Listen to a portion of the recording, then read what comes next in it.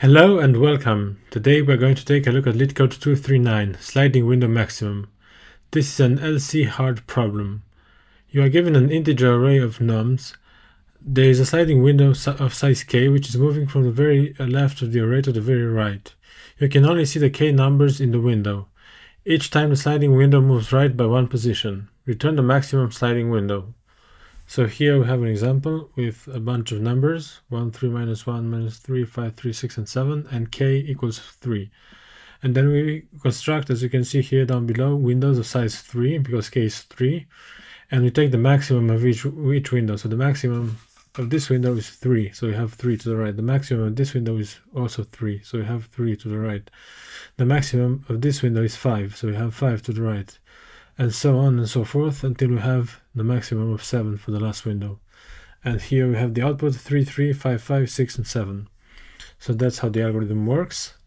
And then we have a second example with uh, just one element and a window of size 1, and then we just output that one element. So then we have some uh, some constraints. Okay, so we can solve this problem in multiple ways. First, let's try brute force approach and uh, let's see how to solve that it that way. So we're just going to iterate through the array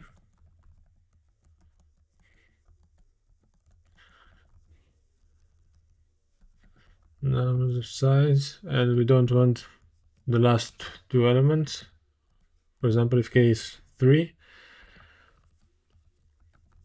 because we want to have the window of size k, so then there are no more windows to, to be made. Okay.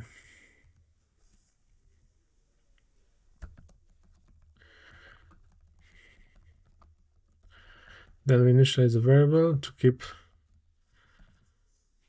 uh, the current maximum for the current window.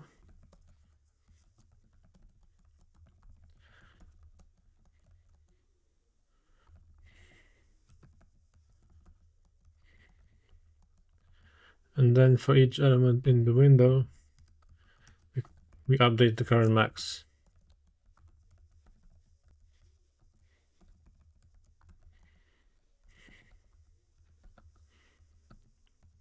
Okay.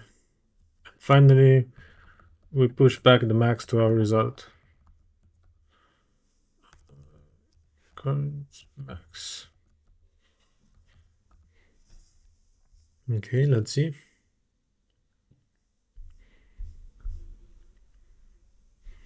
uh, start index.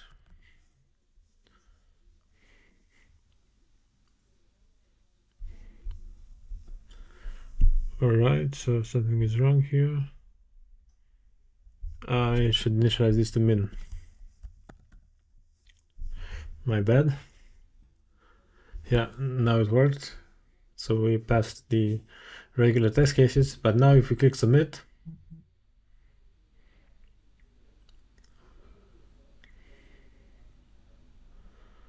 we have time limit exceeded.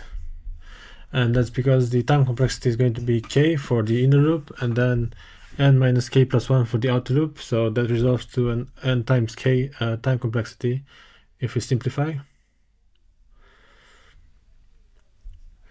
n minus k plus 1 times k. All right.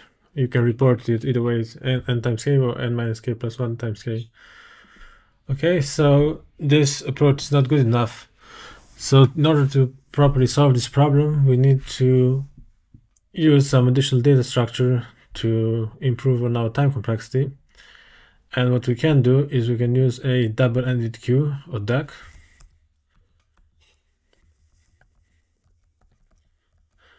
And we are going to see how that works. So let's go to the drawing. Okay, so we have our deque here and uh, we have our uh, so we're going to push the indices of elements into our deque, right? So first of all, we have the index of element 1, which is going to be 0.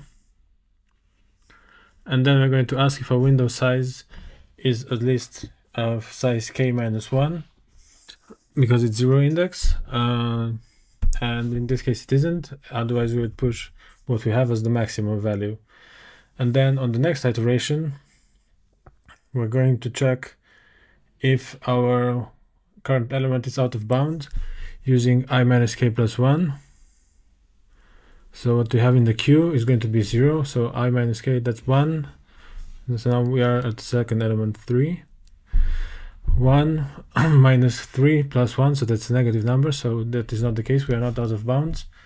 And then we're going to check if uh, the next element the nums of i which is element 3 is greater or equal to what we have in the back of the queue which is going to be element with index 0 which is 1 and it is so what we do is we remove element 0 and then we push element 1 with index 1 so it's going to be 3.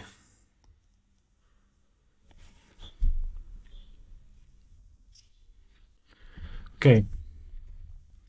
So now we have element 1 in our queue. Our window size is going to be with i, i, i is going to be 1. So the window size is not going to be uh, large enough. So we go to i equals 2.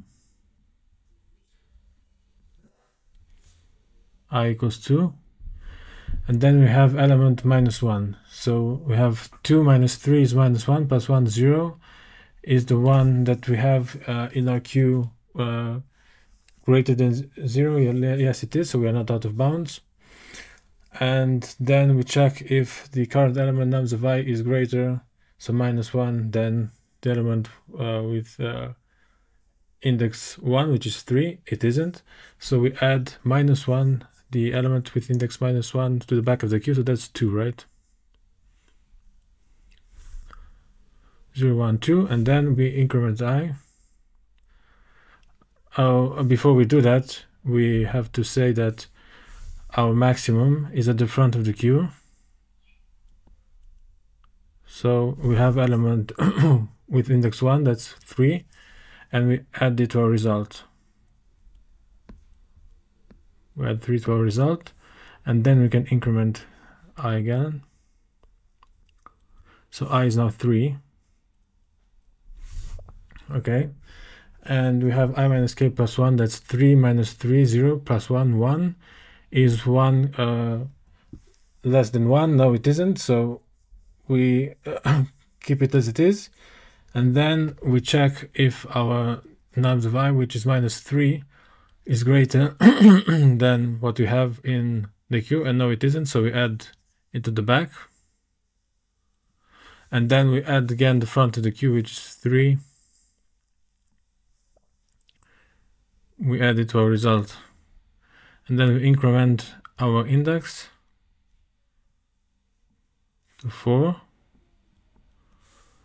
and now we have element 5 and again we check if index 4 minus 3 uh, it's 1 plus 1 is 2 right? And 2 is greater than 1 which is what we have in the front of the list.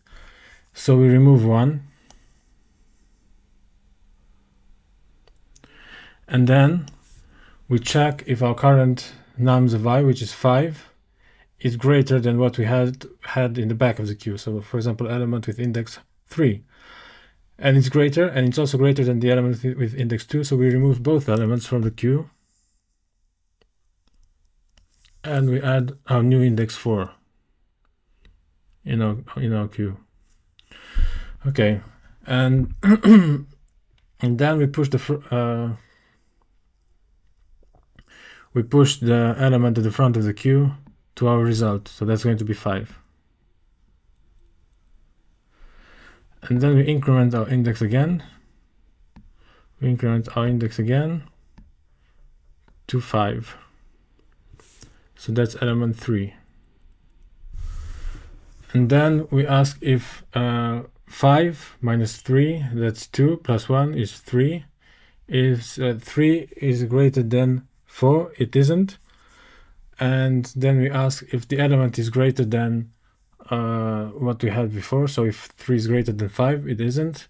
So we simply push it to our queue, push index 5.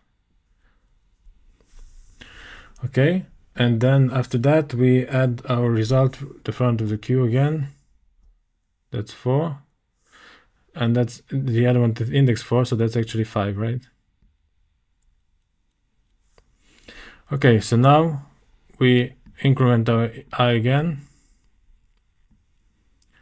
And i is now 6 and then we check if 6 minus 3 that's 3 plus 1 4 4 is greater than 4 no. There's nothing to remove. And then we check if the element 6 is greater than the element with index 5 and the element with index 4 and is greater than both. 6 is greater than both. So we remove both elements from our queue and we push 6 index 6 and value 6 right? So now we also add this to our result.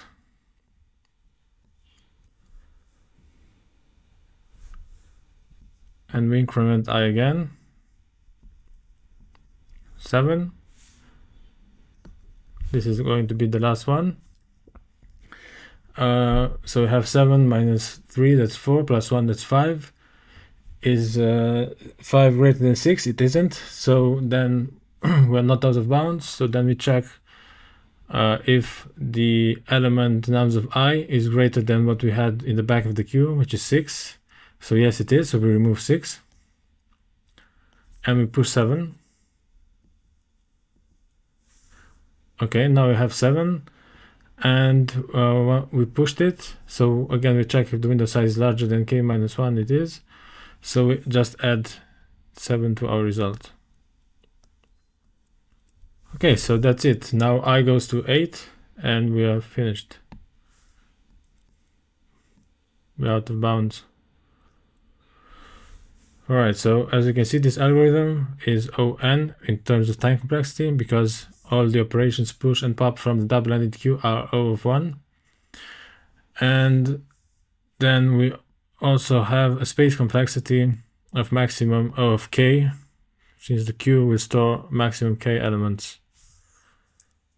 Uh, Alright, so let's go to the code and see how this looks like. Okay, so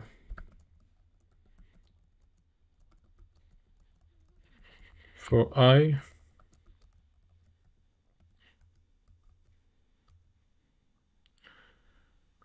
first we push something in our queue and then we check if the i is greater or equal to k minus 1 and if so we push to the result nums of the front of the queue.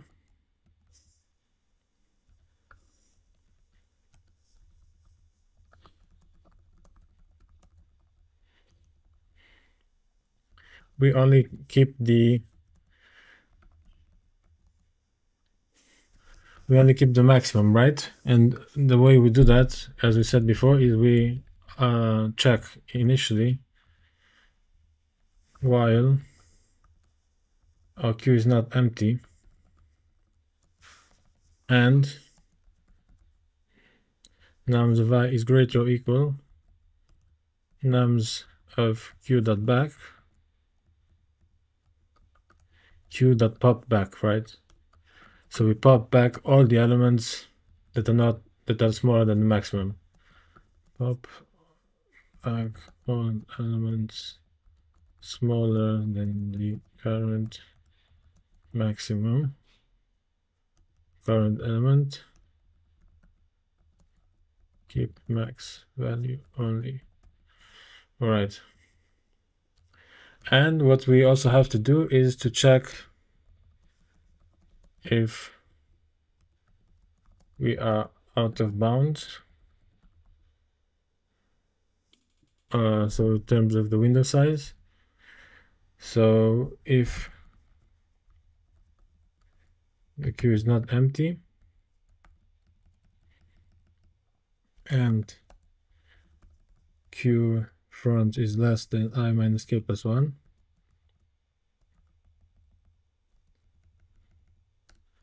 Then we pop front. So we only keep the last k elements in our queue. All right. Okay. So let's see. Q push back.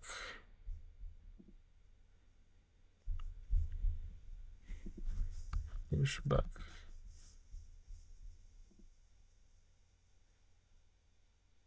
Okay, it's accepted.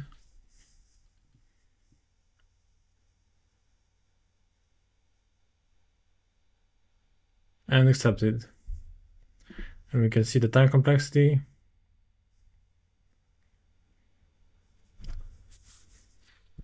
Well, if we would be able to see it, of k space complexity and O of n time complexity, exactly as I've said before uh, during the explanation. So we only keep we keep max k elements in the queue in the double end queue. So space complexity is okay. Okay, and O and time complexity for the main loop.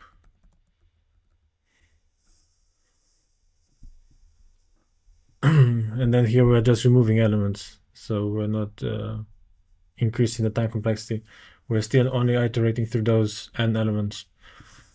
Okay, and everything here, push back, pop back, pop front, push back, all of these are O1 operations. Alright, so I hope you enjoyed this problem. Uh, if you did, uh, please like and subscribe, and stay tuned for more C++ problems. Thank you and bye.